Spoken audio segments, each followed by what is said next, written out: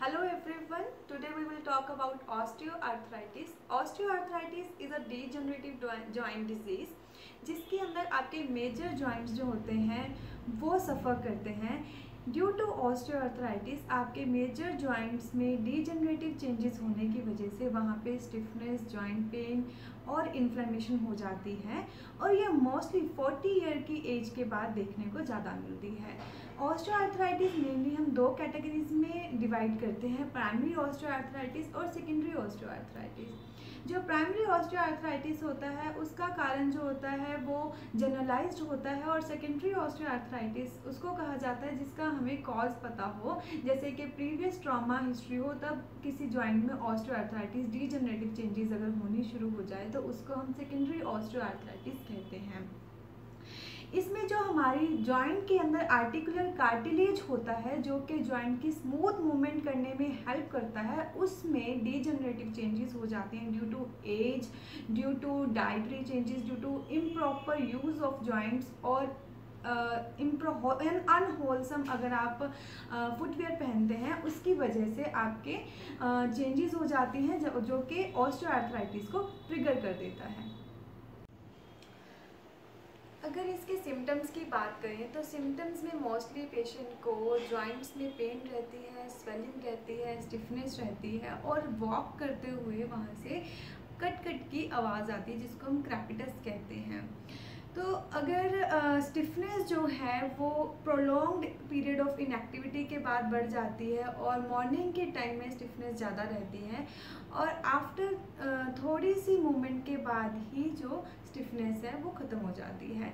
Pen जो होती है वो विद एक्टिविटी इंक्रीज़ होती है और रेस्ट के साथ पेन जो होती है वो ठीक हो जाती है। बॉडी की जो डिजिटल जॉइंट्स होते हैं, उनके ऊपर नोट्स बोनी ग्रोथ्स आ जाती हैं और मोस्टली जो मेटाकार्पल जॉइंट होता है, जो हमारी थम का बेस होता है, वहाँ पे पेन रहनी शुरू हो जाती है, जिसकी वजह से उस जॉइंट के मूवमेंट में प्रॉब्लम आती है और मूवमेंट में प्रॉब्लम होने की वजह से जिस भी हैंड में ये प्रॉब्लम आ रही होती है, उसमें वर्क कैपेसिटी जो होती है, वो कम हो जाती है। और दूसरा रहता है कि इसमें एक्सरे के अंदर अगर हम चेक करते हैं तो बोन में ऑस्टोफाइट्स बन जाते जाते हैं बोनी स्पर्श बन जाते हैं, जिसकी वजह से वहाँ पे आसपास के टिश्यूज़ में इंजरी होती है और इन्फ्लेमेशन होती है।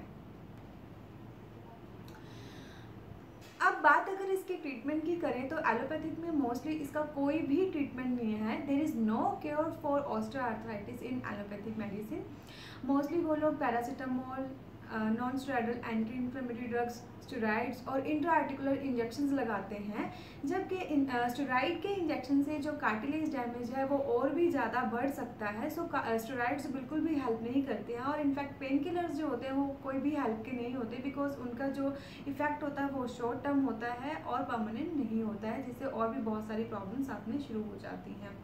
अब अगर हम आयुर्वेदिक ट्रीटमेंट की बात करें, आयुर्वेदिक ट्रीटमेंट में इसमें स्टेप बाय स्टेप चीज़ें होती हैं। इसमें पहले हम ऑयलेशन करते हैं। आइलेशन में मोस्टली इसको एक मेडिकेटेड ऑयल्स के साथ जॉइंट्स को ऑयल दिया जाता है मसाज की जाती है, जिसको हम स्नेहन कहते हैं।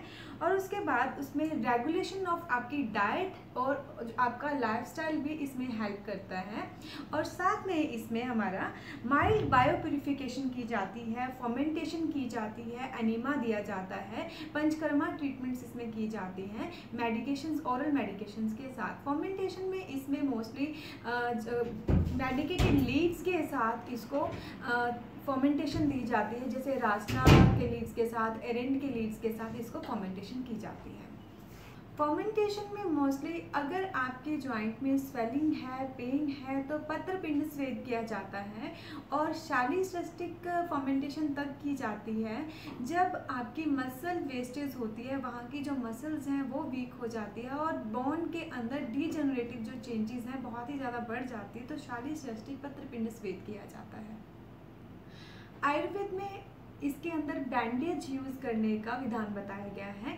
बैंडेज से वहाँ के जॉइंट्स को हम वात नाशक जो हर्ब्स होती हैं, उनके पे, उनके लीव्स के साथ हम उसको अच्छे से बाँध देते हैं, जिससे कि वहाँ पे जो एक्यूमलेटेड वात होती है, वो जॉइंट पे स्वेलिंग नहीं आने देती है।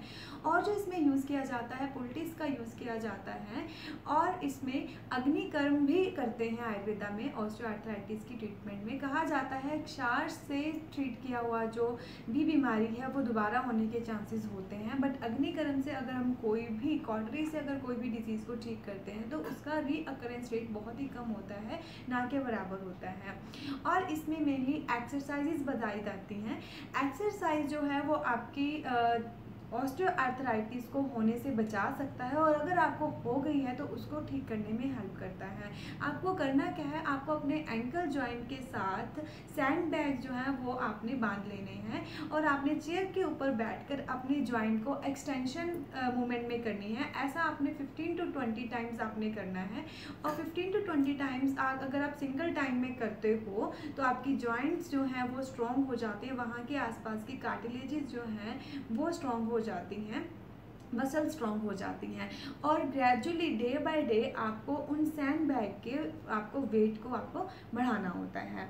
और दूसरा, इसमें प्रिकॉशंस आपको रखनी होती है कि आप अपने जो जॉइंट हैं, उसको आप प्रॉपर यूज़ करें, उसको ओवर यूज़ ना करें। रनिंग आप ना करें, ज़्यादा स्टेयर्स आप ना चढ़ें। और आप स्क्वाटिंग पोजिशन में ज़्यादा देर ना रहें, ज़्यादा देर खड़े ना रहें और ज़्यादा देर आप किसी भी पोजिशन में अगर रहेंगे तो वहाँ का जो जॉइंट है, वो डैमेज होने के चांसेस बहुत ज़्यादा हो जाते हैं। इस तरह से हम आयुर्वेदा में पंचकर्मा ट्रीटमेंट से लाइफस्टाइल चेंजेस से डाइट चेंजेस से और औरल मेडिकेशन जैसे कि कोकिलाक्स गूगल अमृतारी गूगल सेहनाथ गूगल महायोगराज गूगल अकॉर्डिंग टू पेशेंट की कॉन्स्टिट्यूशन अकॉर्डिंग टू पेशेंट के ह्यूमर के, उसकी औरल मेडिकेशन हम डिसाइड करते हैं, जिसके बेसिस पे ऑस्ट्रोआर्थराइटिस जो है वो क्योर हो जाता है और आपको किसी भी तरह के पेन किलर लेने की ज़रूरत नहीं पड़ती है। और डीजनरेटिव जो चेंजेस है उनको हम मॉडि, आपके मॉडिफाई कर सकते हैं और आपके लाइफस्टाइल को हम मॉडिफाई कर सकते हैं। जो भी पेशेंट ऑस्टियोआर्थराइटिस या घुटनों के दर्द, जोड़ों के दर्द से परेशान है, उनको आयुर्वेदिक ट्रीटमेंट से डेफिनेटली उनको बेनिफिट होगा। और अगर आप इसके बारे में और जानकारी जानना चाहते हैं तो आप मुझे कॉल कर सकते हैं। मेरे number nine four one seven four three two five two zero के ऊपर, या आप विज़िट कर सकते हैं हमारी वेबसाइट के ऊपर। या आप अपॉइंटमेंट ले सकते हैं हमारे पंचकर्मा सेंटर के ऊपर विज़िट करने के लिए। Thank you so much.